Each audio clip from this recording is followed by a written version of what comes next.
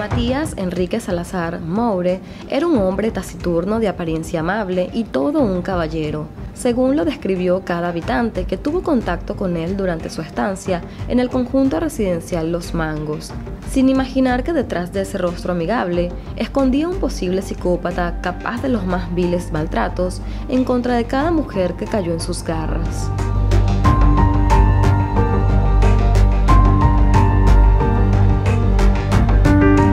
Contar la historia de Morela, este caso que se dio a conocer simplemente como Morela, porque se ha protegido la identidad de la víctima, como también no vamos a poder encontrar pues la imagen de cómo se ve esta persona ni sus datos personales. Pero creo que lo importante acá es poder compartir su historia y que se dé a conocer, indistintamente si tenemos las imágenes reales de las personas involucradas o no.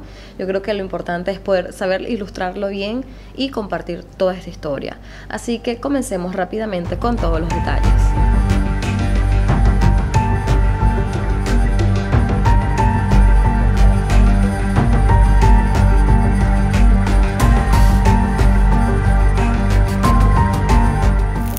Morela tenía tan solo 17 años de edad cuando empezó a tener una relación con Matías.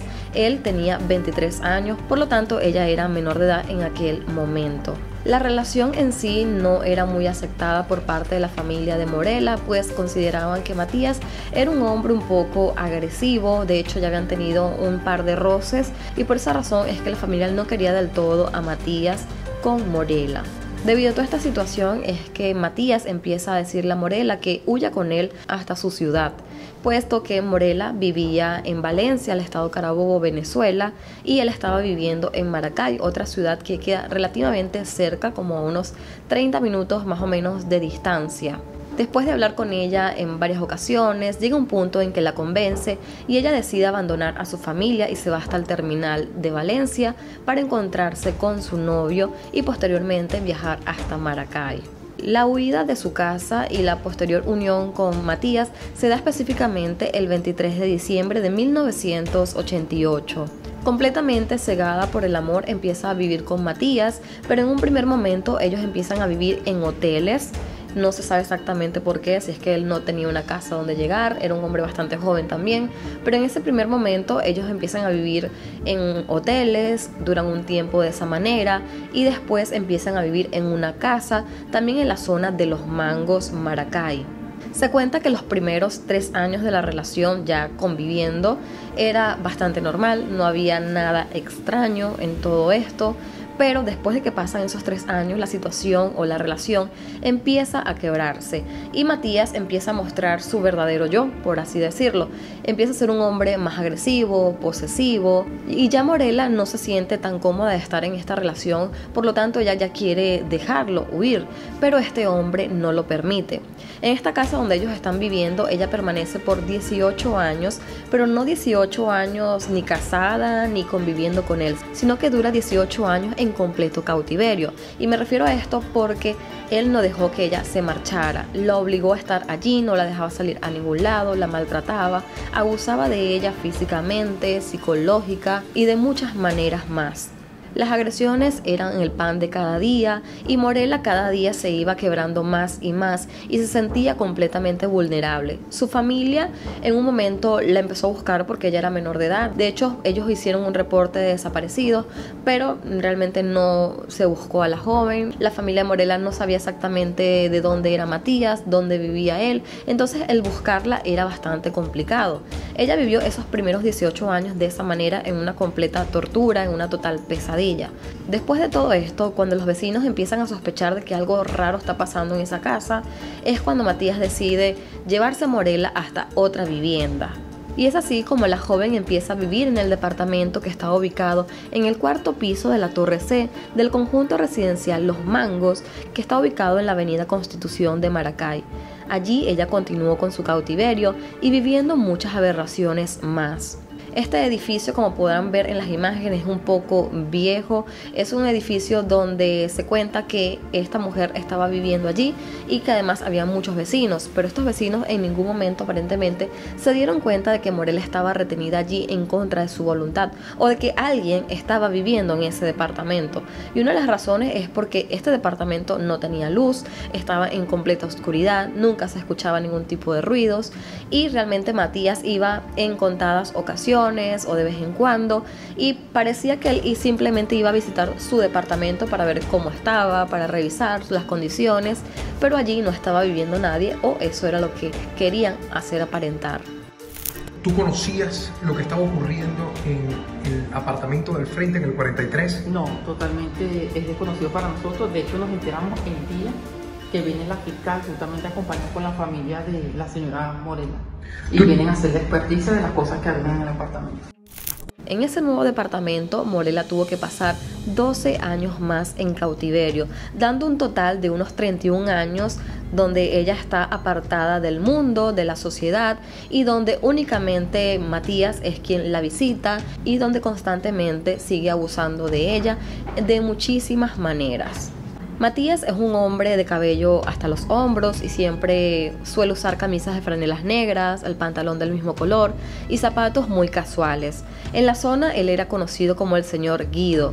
Incluso donde él tenía retenida a Morela en ese edificio, pues él estaba como a un edificio más de distancia. O sea, él tenía una casa donde él vivía, podemos decirlo de manera legal, donde él tenía su vida pública normal, como cualquier otra persona, donde mantenía incluso a su esposa y a su madre él vivía en otro departamento y de cierta manera podía mantenerla muy vigilada a Morela porque estaban bastante cerca. Incluso se dice que ambos balcones eh, daban, se podía ver fácilmente. Y por eso él siempre la tenía como muy vigilada. Si él quería ir a ese departamento iba sumamente rápido, hacía lo que quería hacer y se marchaba. Se cuenta que él era un hombre muy cooperativo, de hecho en el edificio cuando se hacían reuniones de condominio, él siempre participaba, hablaba, estaba muy pendiente de las instalaciones y de realmente nunca, pero nunca se sospechó de que este sujeto podría guardar un secreto tan pero tan grave las personas que llegaron a conocer a Matías o a verlo en repetidas ocasiones cuentan que durante unos 10 años jamás se le vio a él como cambiar físicamente. Siempre llevaba el cabello de la misma forma, siempre vestía muy igual, su rutina era bastante estricta, siempre hacía exactamente lo mismo. Entonces nunca se pensó que él podría hacer algo extraño, algo raro. Mientras Matías continuaba con su vida normal, teniendo una familia, trabajando, visitando de un lado a otro, Morela seguía en este departamento a oscuras. También se cuenta que en este departamento había unas cortinas en la parte del balcón bastante oscuras donde realmente la luz no podía ni siquiera penetrar y cuando llegaba la noche pues era aún más oscuro todavía. El único entretenimiento que tenía Morela era un pequeño televisor donde se podía ver únicamente los canales nacionales y también un pequeño radio. Estas dos cosas le permitieron a ella estar de cierta manera conectada con el mundo o básicamente en lo que se podía. Y también se llegó a conocer que esta mujer durante los 31 años siempre comió lo mismo, arroz, lenteja y huevos. Por lo tanto, ella tenía una condición bastante demacrada, un poco desnutrida, una mujer que estaba bastante maltratada y yo creo que no tanto los daños físicos, sino también los daños eh, muy internos, psicológicos, que la marcaron. Fue tanto el maltrato que ella recibió por parte de Matías que llegó un punto en que ella ya no pedía ayuda, nunca se le escuchó desde el departamento gritar, pedir socorro, ni nada parecido. De hecho, los vecinos dicen que nunca, pero nunca la llegaron a escuchar y que los pocos ruidos que se lograron escuchar a veces, ellos lo asumían que probablemente eran ratas o algún gato que estaba en ese departamento, pero nunca pensaron que se podría tratar de una mujer. Tú nunca escuchaste un grito, tú nunca escuchaste... Ni golpes, puñas, pedidos de auxilio, golpes en la puerta, nada como para que uno pudiese saber que efectivamente había alguien en ese apartamento. Se supo que en uno de esos tantos días de cautiverio por los que tuvo que pasar Morela, él un día dejó un juego de llaves en el departamento y la dejó completamente sola. Ella cuando vio ese juego de llaves pensó que podrían ser las llaves del departamento e intentó abrirlo, huir, pero resulta que las llaves no eran de esa casa. Cuando él regresó se dio cuenta de que Morela había intentado huir, que había movido las llaves, que había intentado salir y como castigo la golpeó fuertemente y esa situación sucedió varias veces más, razón por la cual ya Morela no intentaba huir, ya le daba realmente muchísimo pero muchísimo miedo. En estos 31 años de cautiverio de Morela, ella logró salir en cuatro ocasiones y esto era cuando su condición física de salud estaba tan deteriorado que ella le suplicaba a Matías que la llevara hacia un médico. En esas ocasiones él la llevó, pero así como la llevaba rápidamente la devolvía después a su departamento y no se sabe si es que ella no tuvo la oportunidad de pedir ayudas o si es que algún médico no se dio cuenta de lo que estaba sucediendo, pero el punto es que ella siempre volvía a su prisión por así decirlo. Un día Morela estaba escuchando la radio y logró escuchar en esa emisión sobre el Instituto de la Mujer y supo que ahí podía pedir ayuda. En esa transmisión se estaba hablando sobre la violencia de género y muchísimos temas relacionados. Ella de inmediato se memorizó la dirección con la esperanza de algún día salir y pedir ayuda en aquel lugar. Y fue así como el 24 de enero de este mismo año 2020 es cuando Matías nuevamente deja un juego de llaves y ya Morela había pasado muchas veces por esa situación de intentar huir, pero ese día decidió armarse de valor, tomar las llaves y abrir. Y afortunadamente, a diferencia de los otros días, esta llave sí abría el departamento. Ella no lo dudó y salió. De inmediato se acordó del lugar del Instituto de la Mujer donde podía pedir ayuda y salió inmediatamente corriendo hasta ese lugar.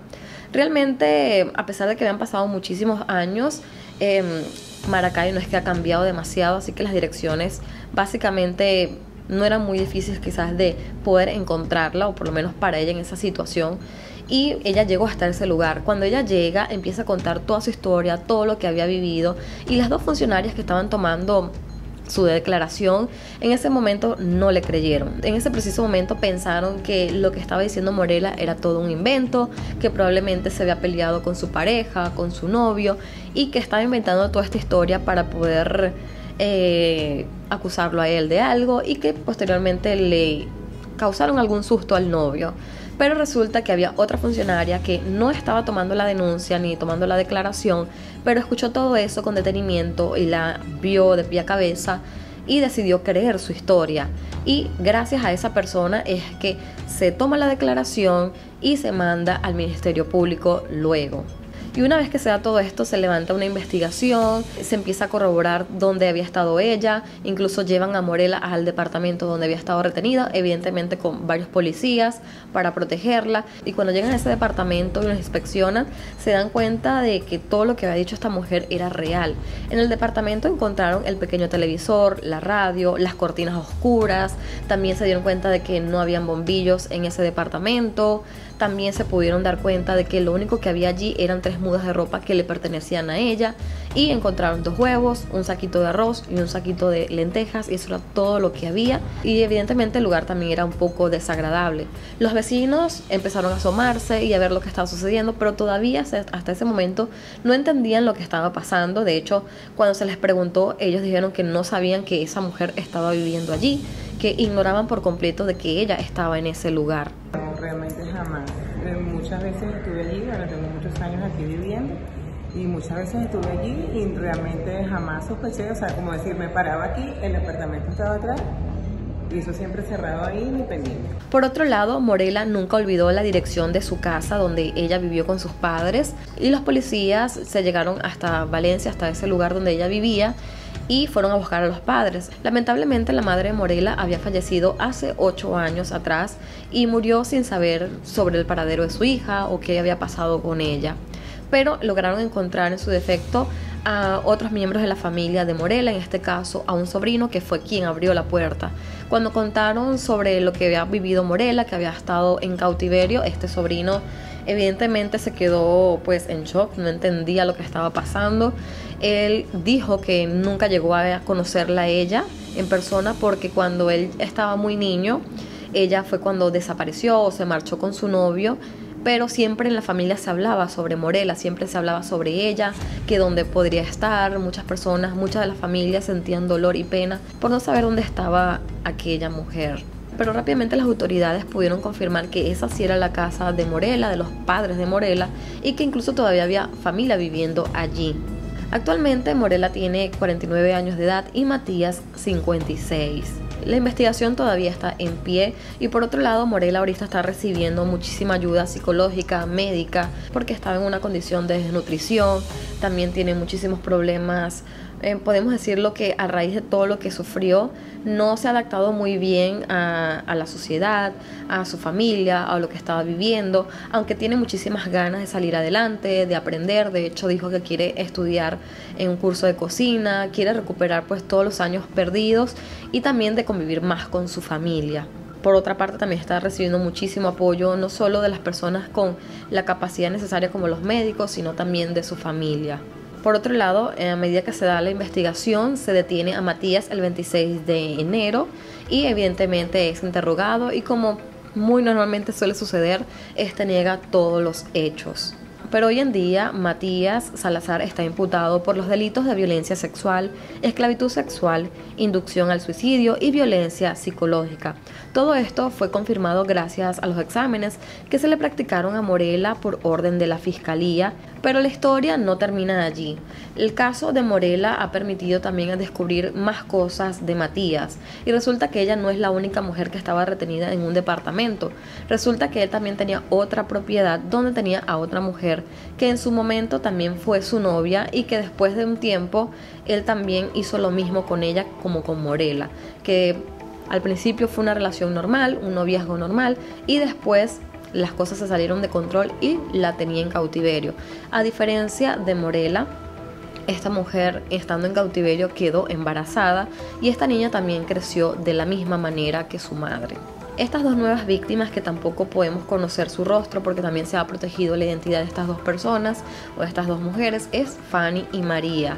María viene siendo también la hija de Matías, pues ella también creció en este cautiverio. Hoy en día ya es una muchacha de unos 20 años más o menos y ya está asistiendo a la universidad. Ella, a pesar de que creció en cautiverio igual que con su madre, Matías siempre la llevó a la escuela, o sea, tuvo una educación, una vida no normal, pero pudo estar en contacto con el mundo exterior, pudo compartir con su padre. Eh, podemos decir que es algo bastante extraño, bastante raro como fue todo esto, porque nos hace pensar por qué en algún momento esta niña no pidió ayuda o es que qué pasó, a lo mejor hasta psicológicamente tampoco esté bien y por eso para ella esta relación era normal entre sus padres, pero nunca fue así. Como les había comentado, Fanny en su momento fue pareja también de Matías cuando era joven, pero ella tenía unos 23 años de edad cuando ella huyó de su casa. Por lo tanto, cuando la familia empezó a buscarla y colocaron la denuncia de desaparición, la policía no quiso tomarla porque Fanny ya era mayor de edad y se sabía que había huido con su novio. Pero evidentemente nadie esperó que este novio fuese un psicópata. A los tres años de estar en cautiverio quedó embarazada y tuvo esta niña. Ella dio a luz a la pequeña en un hospital y cuando el hermano de Fanny se enteró de que su hermana estaba en un hospital a punto de dar a luz, intentó rápidamente ponerse en contacto con ella, de volverla a ver, pero Matías le dio órdenes en el hospital de que no dejaran entrar a este sujeto porque quién sabe qué cosas se habrá inventado, pero simplemente no dejó que él pasara. Por lo tanto, este hermano no pudo ver a Fanny ni ayudarla. Después de que daba luz, Nuevamente Matías pone a Fanny y a la bebé María en el departamento sin que puedan salir. En cuanto al caso de Fanny y María, esta se ha mantenido muy privada también la investigación, así que no puedo darle más detalles de lo que por lo menos Fanny pudo haber vivido, como en el caso de Morela, que sí se sabe por todas las cosas que pasó. Por otro lado, también se empezó a investigar a la familia directa de Matías, pues se sabe que él estaba viviendo con su mamá y con una esposa. Entonces, las autoridades alarmadas por toda esta situación pensaron que también esa esposa podría estar secuestrada también. Eh, o viviendo también una pesadilla o incluso la madre de Matías. Pero cuando las autoridades llegan a esa casa donde vivía Matías, se encuentran también con una mujer mayor, eh, se ve que tiene una condición normal física, y la interrogan, pero ella de inmediato dice que su esposo es inocente, que él no tiene nada que ver con todo eso y que toda esa historia se ha inventado. De hecho, le voy a presentar dos videos que se han hecho públicos donde la esposa de Matías, de nombre Ana María, ha hablado en nombre de su esposo defendiéndolo. Hola, soy Ana María, la esposa de Matías Enrique Salazar Este, mi relato en este momento es para decir que fui prácticamente sacada de esta casa por la fiscalía bajo engaño, en contra de mi voluntad, porque ellos vinieron diciendo que se habían hecho unas denuncias acerca de que yo era víctima de secuestro y que me tenían drogada en la casa, que me daban droga, que, o sea, todas esas cosas.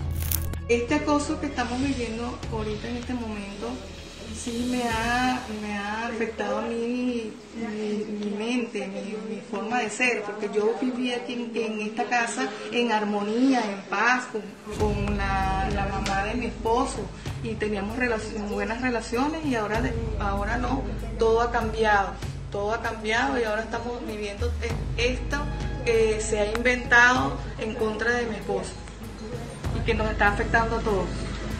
Después de ver estos dos videos, yo me quedé analizando la situación y yo digo, pueden presentarse tres escenarios en todo esto. Puede, que, puede ser que la esposa, Ana María, sea una mujer sí inocente de todo esto y ella haya ignorado durante los 31 años lo que su esposo estaba haciendo con otras mujeres. La otra opción que yo tengo de todo esto o que yo pienso es que probablemente Ana María sí sabía lo que su esposo hacía, que tenía amantes o que tenía mujeres en cautiverio, pero simplemente no dijo nada, se quedó callada por quizás temor a su esposo, porque este hombre también era un hombre alto, imponente, quizás también con un carácter fuerte, que hizo que ella no dijera nada y no hablara. Y la tercera me hace pensar en caso de que ella haya sido víctima también, entonces esté sufriendo el síndrome de Estocolmo, que hace que ella sienta ese apego hacia la persona que la ha estado agrediendo, que, que la ha estado teniendo retenida. Pero bueno, ya aquí estaría como hablando un poco de más porque realmente a ella mm, la han dejado libre, ella la entrevistó las autoridades, pero no ha dicho nada. No sé si a la madre de Matías también la han interrogado, pero pienso yo que es importante que también la interroguen a ella para llegar un poco a fondo de todo esto y ver si Matías actuó solo o si tuvo también ayuda de otras personas como sus familiares o alguien más. Una de las razones que por la que nunca también se sospechó sobre Matías es porque se consideraba un hombre de buena posición económica relativa, tenía otros apartamentos, que era donde tenía retenidas estas mujeres, pero nadie lo sabía. Tenía más de un auto, tenía buen trabajo, realmente llevaba una vida económica bien. Pero sí hay muchos puntos de esta historia que me dejan muchas interrogantes, como la hija que estuvo en cautiverio porque nunca pidió ayuda, o es que para ella era esa situación normal, o en el caso de su esposa Ana María, de verdad ella no sabía nada de lo que estaba sucediendo, o también es otra víctima. Todavía hay muchos cabos sueltos y siento que esta investigación todavía le falta muchísimo. Esperemos que se siga desarrollando y que se siga averiguando hasta que sepamos qué es lo que va a suceder con todo esto. Pero yo creo que lo importante es que por lo menos se ha podido rescatar a Morela, a Fanny y a la joven María, porque estas sí se han confirmado como víctimas de Matías. Evidentemente estas cosas estaban sucediendo alrededor o muy cerca de cada uno de los vecinos y nadie estaba pendiente porque muchos de los vecinos decían, no, yo simplemente llego a mi trabajo y me encierro en mi departamento, no hablo con nadie, no estoy pendiente de qué pasa allá, qué pasa con mi vecino para no parecer el chismoso. Y realmente este caso ha hecho ver o abrir los ojos en que sí, tienen que haber vecinos presentes y estar pendientes de lo que está sucediendo en nuestro entorno porque pueden estar sucediendo este tipo de situaciones. Después de todo este escándalo se ha tenido mucha pronunciación de los medios con relación al caso y también se está exigiendo justicia. Por otro lado, los abogados de Matías Salazar dieron también declaraciones públicas en una rueda de prensa y esto fue lo que dijeron. Demostraré ante un tribunal que mi cliente es inocente. En cualquier tribunal de Venezuela, si se radica la causa en Barcelona, Puerto La Cruz, mi cliente va a ser inocente de todos los delitos que se le acusan. Por íntegra. que se hacen acá por parte de las presuntas víctimas, ¿a, qué apuntan? Eran tres mujeres que tenían eh, vínculos con el señor Matías. Pero son manipuladas por ciertas personas del extranjero. Desde Perú, Boris González. Desde España, ADN Maye. Pero lo que queremos llegar... estaban, que supuestamente estaban en cautiverio. En un momento tuvo privada libertad porque la señora Morela tenía su juego de llave, tenía su carro, tenía su celular. A la esposa, la señora Ana y la señora Fanny, que es otra de las denunciantes. También tiene lo mismo, tenía su celular, su vehículo. Y la, y la esposa legalmente también tiene lo mismo. Entonces yo no explico cuál secuestro. A mí particularmente la declaración que ha dado los abogados de Matías es algo bien loco, aberrante, no tiene sentido para mí qué es lo que intentan hacer. Así que por lo tanto vamos a estar muy atentos al desarrollo de esta historia, qué es lo que va a pasar, cómo va a ser la sentencia, cómo va a ser el caso en sí mismo. Probablemente si en los próximos meses se da el desenlace de esta historia, haré la segunda parte del caso Morela y pues si se aclara también la situación de Fanny y de la esposa de Matías, también estaré hablando sobre eso. Y bueno amigos, estos son todos los detalles del caso del día de hoy, del caso Morela, un caso bien impactante, creo que ya hemos hablado en otras ocasiones de casos muy similares de personas que habían estado en cautiverio y que también han salido en libertad. Y antes de despedirme, por acá les voy a dejar mis redes sociales por si desean seguirme y estar en un mayor contacto conmigo. También les voy a pedir de todo corazón que se suscriban a este canal si todavía no lo han hecho y de que activen la campanita de notificación para que cada vez que yo suba un nuevo video ustedes sean los primeros en enterarse. También les recuerdo que tengo un segundo canal completamente diferente donde subo ya videos más personales de mis viajes, de las cosas que compro. Así que si les interesa esos temas, los voy a estar esperando por allá. Todos esos enlaces se los voy a dejar aquí en la cajita de descripción. Así que nos vemos hasta el próximo video. Yo los quiero muchísimo. Me despido. Bye bye.